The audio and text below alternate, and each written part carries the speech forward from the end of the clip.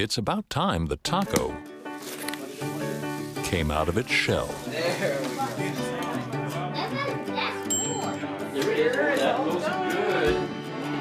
Unleash the power of dough.